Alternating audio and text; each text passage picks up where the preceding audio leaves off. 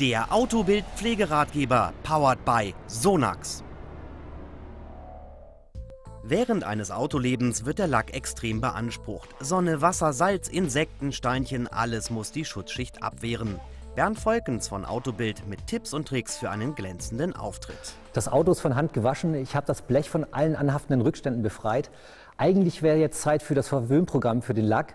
Aber bevor das soweit ist, kümmere ich mich erstmal um die Kunststoffteile, weil die können mit der Zeit ausbleichen und dafür gibt es so einen Tiefenpfleger, der das verhindern soll.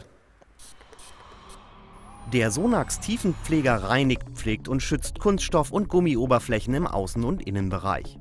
Die Pflegeemulsion dringt tief in die Oberfläche ein, Kunststoff- und Gummiteile werden gereinigt und sind vor Witterungseinflüssen nachhaltig geschützt.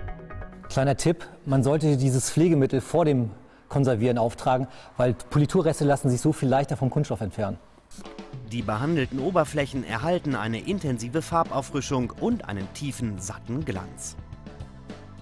Bevor das jetzt ans Wachsen geht, muss ich erstmal so die alten Rückstände hier runterholen. Dafür habe ich hier so einen Endkonservierer, der nimmt das alles ganz gut ab, poliert sogar ein bisschen, das heißt kleine Kratzer verschwinden und damit ist der Lack richtig vorbereitet. Der Sonax Premium Class Lack Cleaner reinigt und entkonserviert den Lack. Er entfernt dabei Silikon, Fett und Wachsbelege. Die behandelten Oberflächen werden poliert und geglättet, feine Kratzer entfernt. Auftragen, kurz einwirken lassen, mit dem Mikrofasertuch auspolieren. Viele Leute denken, Polieren reicht, stimmt aber nicht, weil eine reine Politur ist nur ein Schleifmittel. Das heißt, man trägt nur Lack ab, man macht diese Krater, die Berge macht man so ein bisschen weg, damit es glatt wird.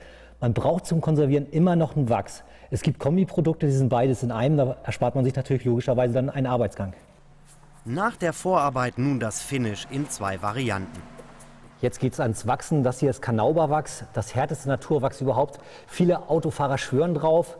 Ich trage es jetzt hier sehr dünn auf, das ist wichtig. Auch nicht in der prallen Sonne auftragen, abschnittsweise arbeiten und anschließend, nachdem es aufgetragen ist, kurz antrocknen lassen, um, mit, um es dann mit einem Mikrofasertuch auszupolieren. Das Wachs bietet maximalen UV-Schutz, der Lack wird extrem glatt und ist so bestens gegen Verschmutzungen geschützt. Bei diesem Wagen habe ich mich bei der Konservierung für eine Nanoversiegelung entschieden. Die ist für neuere Lacke geeignet und soll bis zu neun Monate halten. Der Lack wird mit einer glasharten Hybridschicht aus Nanopartikeln überzogen und sorgt durch eine zusätzliche Fluor-Carbon-Anreicherung für einen optimalen Abperleffekt.